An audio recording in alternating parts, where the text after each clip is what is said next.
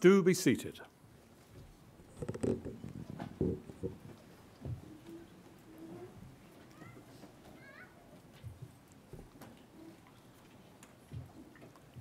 As Secretary and Clerk, it is my privilege and pleasure to welcome you to this evening's graduation ceremony. Graduation ceremonies began in the 15th century, and the tradition which, attach, which is attached to them has evolved since. Graduation means taking a step, and graduation symbolizes the move of the former student, now called a graduand, into a role in wider society as a graduate, there to use the talents developed as a member of this university society. Each graduand will cross the stage and shake hands with the Vice Chancellor to symbolise their transition to this new role, and we will applaud them for their success so far and in anticipation of their contribution to society in future. At the end of the ceremony, the Vice Chancellor will formally admit all those who have crossed the stage, symbolising that each and every graduate is now incorporated into the community of scholars as new members of this community as the academic procession leaves the stage. The new graduates will join the procession, and that will conclude the proceedings. It is now time to begin our formal proceedings, and I hereby declare the ceremony to be in session and call upon the Vice Chancellor, Professor Michael Thorne, to address you. Vice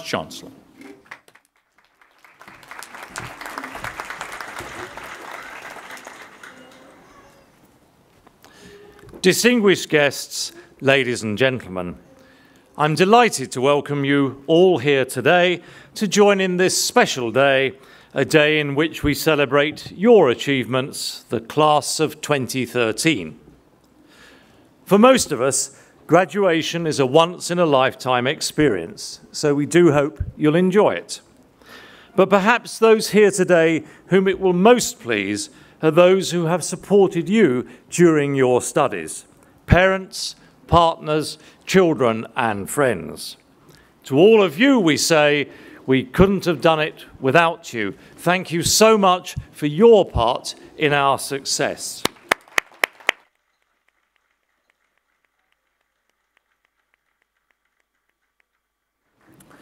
Let me give you just a taste of how successful Anglia Ruskin students have been this year.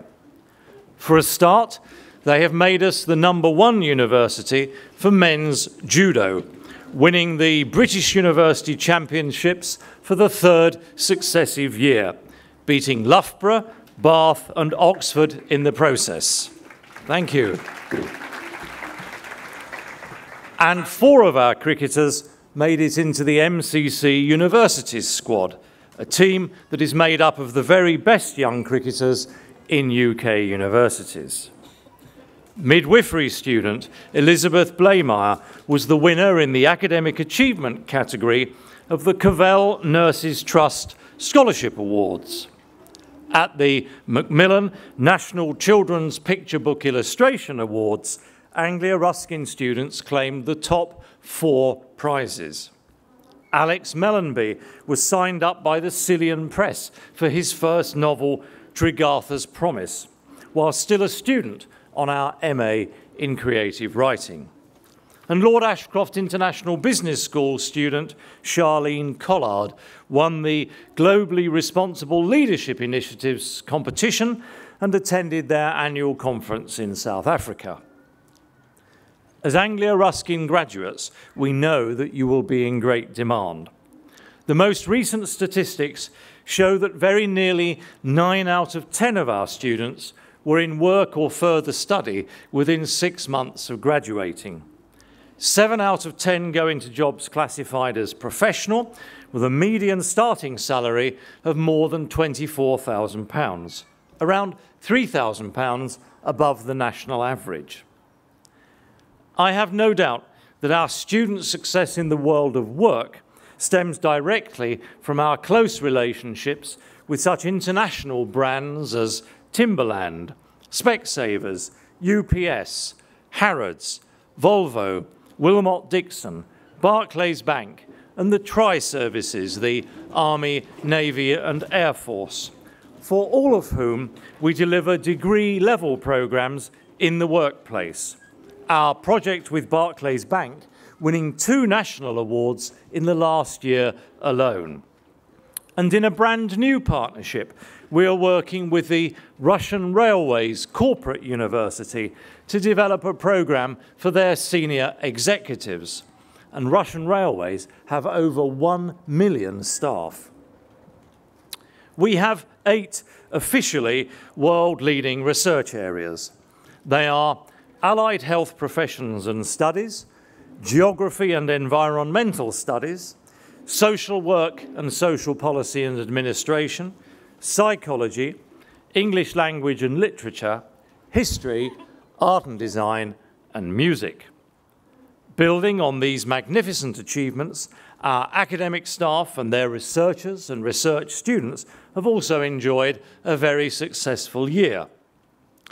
Shelley scholar Professor Nora Crook shared the prestigious Richard J. Finneran Award for 2013 for her major role as co-editor of Volume 3 of The Complete Poetry. Bill Clinton invited Dr. Aled Jones, director of our Global Sustainability Institute, to address the influential Club de Madrid, a conference of former world leaders. Dr. Rohan McWilliam has become president of the British Association for Victorian Studies. Dr. Peter Allen was awarded the College of Optometrists Neil Charman Medal for outstanding research. And Professor Clarissa Campbell Orr has been appointed as the new president of the Society for Court Studies, a post at one time occupied by historian David Starkey. With six European partners as part of the two-year 2.4 million euros European Commission funded project Echo to Echo, we have developed a recyclable architectural product which reduces energy use in buildings whilst enhancing acoustic performance and thermal comfort, but which costs a fraction of the price of competing products. We have also secured funding under the FP7 EU research programme to design and manufacture a novel valve, which will revolutionise the extraction of oil from the North Sea, increasing the amount of oil that can be cleanly extracted from an oil field, with potential benefits worth billions of dollars to the oil industry. Our Centre for Entrepreneurial Development and Research in partnership with the University of Stellenbosch, is working to develop entrepreneurship in South Africa.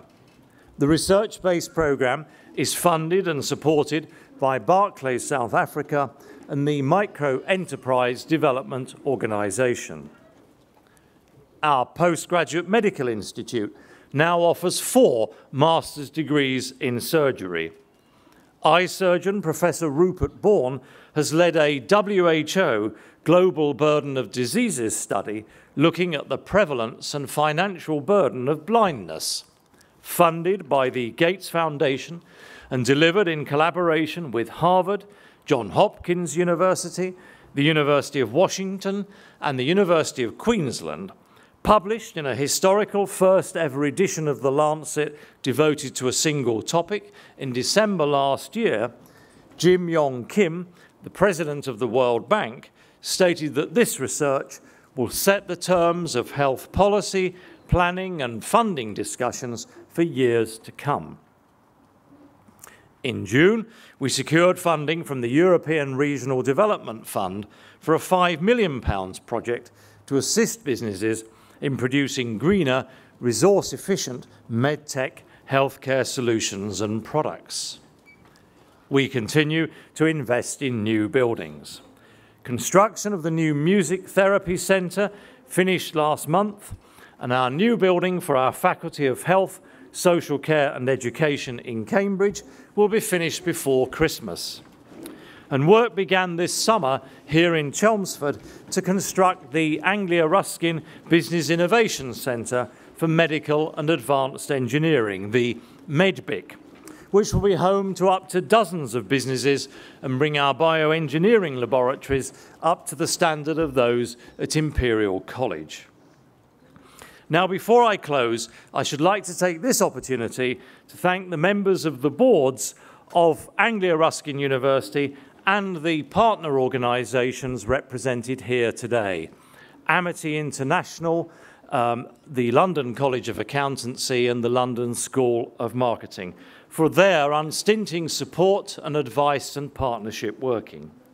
But most importantly of all, I want to take this opportunity to offer my deepest thanks to the staff of all of those organisations, each of whom directly or indirectly has made an enormous contribution to your success. Everyone here today owes all our staff a huge debt of gratitude, and I think we should show our appreciation in the usual way.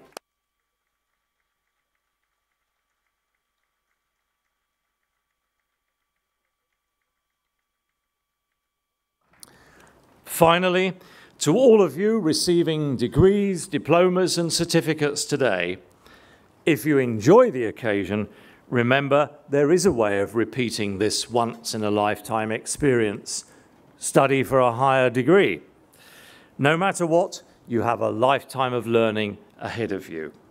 You join a long line of distinguished alumni, which includes Chan Abraham, CEO of the Luminous Group, Oliver Baines of Blake, who won Best New Album in the Classical Brits Awards and are now celebrating having sold more than half a million albums. Lynn Berry, CEO of the WRVS and now at the Canals and Rivers Trust. Manish Bhasin, who covers sport for the BBC.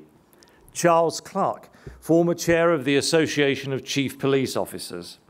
TV presenter Nick Crane of Coast, Mapman and Great British Journeys. Their honours, Judge Margaret Fawcett and Judge Howard Kemp, Alexandra Pringle, editor in chief of the Bloomsbury Press, and Mark Wood, who moved from deputy chairman of the commercial giant Paternoster to become CEO of the NSPCC. We're very proud of you. Best wishes for your future careers wherever they take you.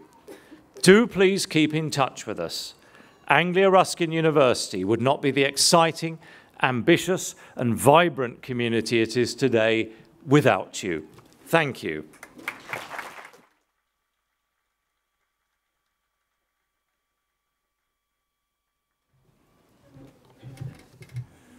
We now come to the presentation of those receiving awards this evening to the Vice Chancellor. And I call upon Deputy Dean Professor Packham to read the names of those who will be presented from the Lord Ashcroft International Business School. Professor Packham.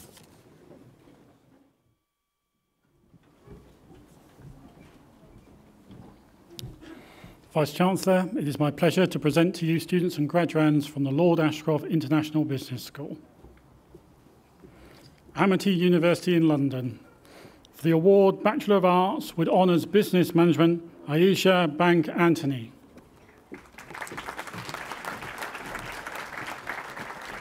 Tapo Stephen Aliandi.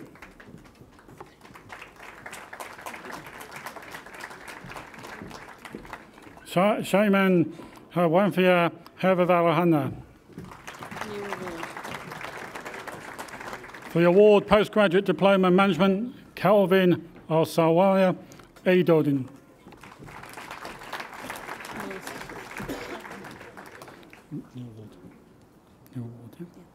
For the award Master of Science Management, Tayan Naravashanjisi. Michael Mafura. For the award Master of Business Administration, Ahmed Al Bayati.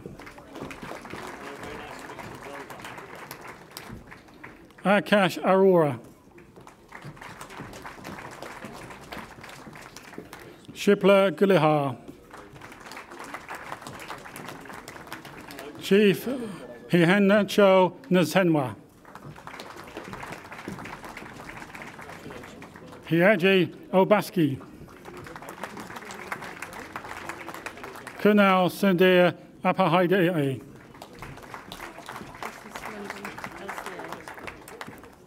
LCA Business School, London. For the award, Bachelor of Arts, International Business Management, Mohammed Nafiz. Hasif Ichikata Ahmed. Yaqub Ali. Abdul Majid Bilal. Saeed Salam.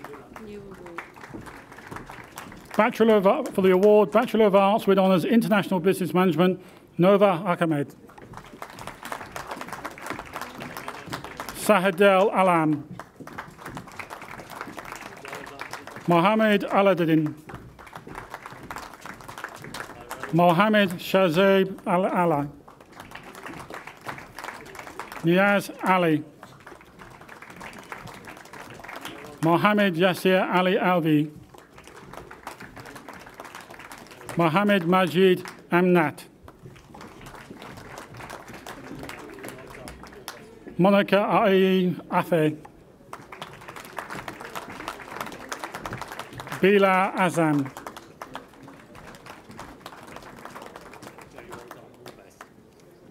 Rizan Akhtar.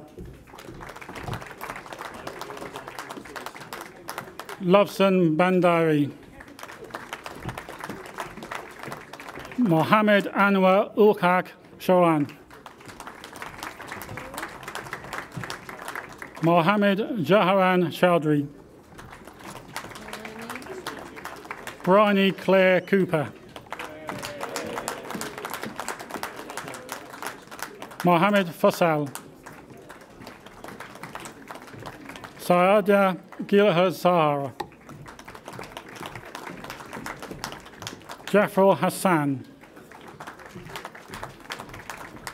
Mohammed Zanahid Ibn Mustafa. Usama Imtayaz. Mohammed Assad Iqbal. Mohammed Araful Islam. KB Maradazini Avakaika Jaradodina. Mohammed Humayam Kabir. Mohammed Ifran Kasana. Shistri Kadaka. Adil Ahmad Khan. Mohammed Nazir Khan. Omar Shizad Malik. Sylvia Helen Patricia Nazumba. Syed Shawlaz Al Naqvi. Harris Nasir. Anne Hayo Niguin. Tashin Noroz. Samita Sampang. Bim Nat Padel. Niva Pradhan. Mohammed Asafur Rahman. Fazil Islam Rajul. Riswan Rashid.